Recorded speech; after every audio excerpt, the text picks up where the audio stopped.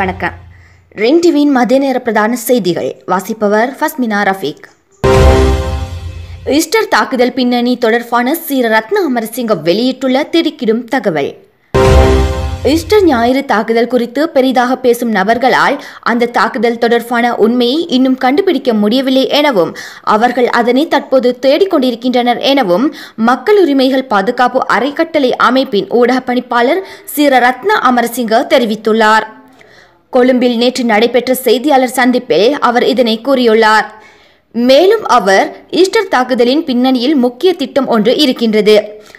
அந்த தாக்குதல் நடக்க இடமளித்துவிட்டு இவர்கள் ஏன் பார்த்து கொண்டிருந்தனர்? என்ற கேள்வி அனைவருக்கும் இருக்கின்றது. இந்த சம்பவம் தொடர்பான ஆணைக்குழுவை நியமித்தாலும் அதனுடன் சம்பந்தப்பட்டவர்கள் என சிலரை கைது செய்தாலும் தாக்குதலுக்கான பின்னணி என்ன என்பதை எந்த ஆணைக்குழுவும் கண்டுபிடிக்கவில்லை. இந்த தாக்குதலின் பின்னணியில் ஆறு தசம் ஒன்பது பில்லியன் ரூபாய் அதாவது முப்பத்தி எட்டு தசம் ஒன்பது மில்லியன் அமெரிக்க டாலர் பெறுமதியான அரசு கொள்கை ரீதியான திட்டம் இருக்கின்றது. ஈஸ்டர் தாக்குதலின் பின்னணியில் இதுவே இருக்கின்றது. வேறு எதுவும் இல்லை. பில்லியன் ரூபாய் பெறுமதியான திட்டம் அதனை மக்கள் மத்தியில் கொண்டு செல்ல முடியவில்லை. அந்த ரயில் தடம் புரந்தது. இதனை அடுத்து ஈஸ்டர் தாக்குதல் நடந்தது. தற்போது ரயில் சிறப்பாக சென்று கொண்டிருக்கின்றது. ஆறு தசம் ஒன்பது பில்லியன் ரூபாய் பெறுமதியான அரசு கொள்கை ரீதியான திட்டத்திற்காகவே ஈஸ்டர் தாக்குதல் நடக்க இடமளித்து விட்டு பார்த்து கொண்டிருந்தனர். இது அரச ராஜதந்திரம். அதிலும் அரசியலும் இருக்கின்றது. அதேபோல் அதனை கீழ் பணக்குவியலும் இருக்கின்றது. அந்த பணக்குவியலின் பனிமலையில் உச்சி மாத்திரமே அதற்கு கீழ் பல பில்லியன் ரூபாய் பெறுமதியான திட்டங்களும் இருக்கின்றன. அதற்காகவே அப்பாவி மக்கள் கொல்லப்படும் வரை பார்த்து கொண்டிருந்தனர். புலனாய்வு அதிகாரிகள் இல்லாமல் இல்லை. செய்தியாளர் சந்திப்புகளை நடத்தும் போது அரசு புலனாய்வுகள் வருகின்றனர். ராணுவ புலனாய்வு பிரிவு இருக்கின்றது. நாங்கள் ஒரு கடிதத்தை வழங்க செல்லும் போது அந்த இடங்களில் அரசு புலனாய்வு சேவையை சேர்ந்த பத்து அல்லது பதினைந்து பேர் அந்த இடங்களை சுற்றியும் இருப்பார்கள்.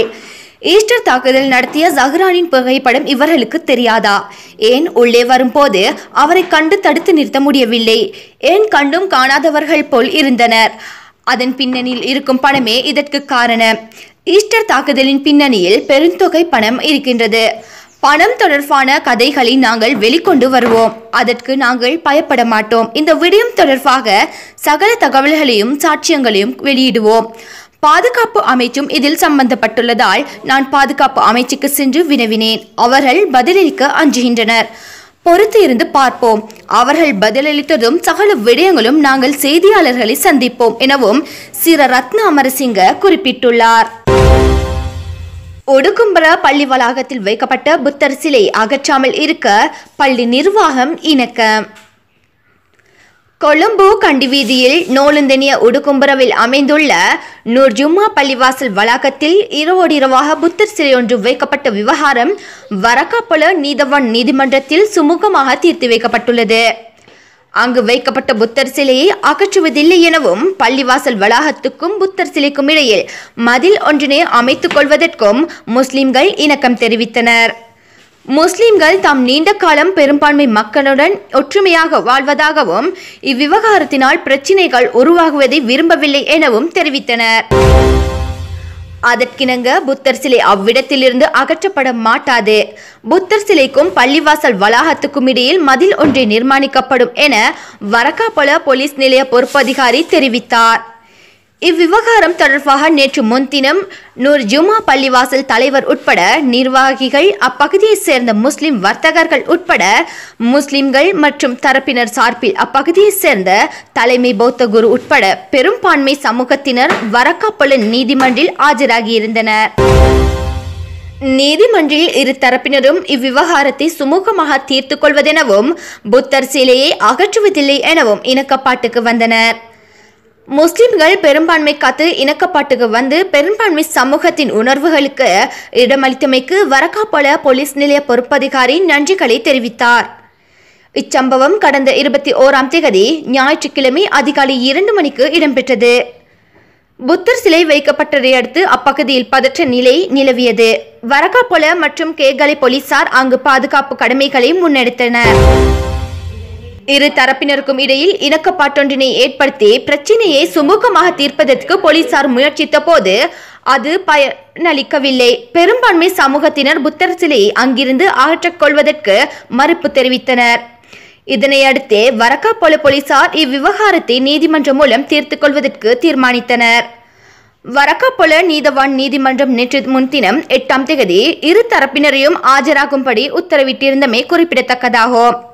நீதவான் மேலதிக விசாரணையை ஜூலை பதினைந்தாம் திகதிக்கு ஒத்திவைத்தார் பேருவலை மரக்காலவத்தை பிரதான வீதி இன்று கான்கிரீட் வீதியாக செப்பனிடும் பணிகள் ஆரம்பிக்கப்பட்டுள்ளன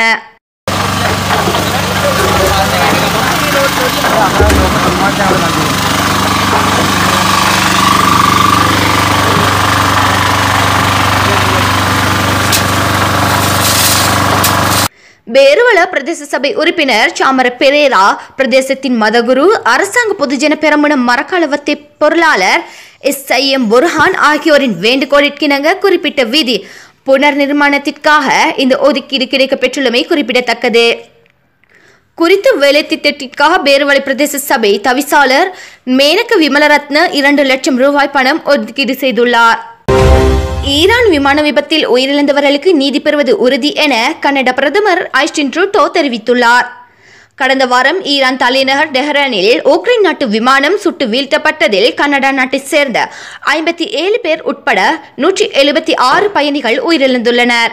இதற்கு ஈரான் ராணுவம் பொறுப்பேற்றுள்ள நிலையில் விமான விபத்தில் உயிரிழந்தவர்களுக்காக கனடாவில் ஆல்பிராட்டா மாகாணத்தில் இரங்கல் கூட்டம் நடைபெற்றது. அதில் பங்கேற்று பேசிய அந்நாட்டு பிரதமர் ஆஸ்டின் ட்ரூட்டோ இந்த பேரிழப்பு நிகழ்ந்திருக்க கூடாது என்று உருக்குவதற்கு தெரிவித்தார். விபத்தில் உயிரிழந்த கனடா நாட்டினரின் குடும்பத்திற்கு அரசு எப்பொழுதும் துணையாக இருக்கும் என்று அவர் உறுதியளித்தார். இத்துடன் ரின்டுவின் மதிய நேர பிரதான செய்திகள் நிறைவு பெறுகின்றன.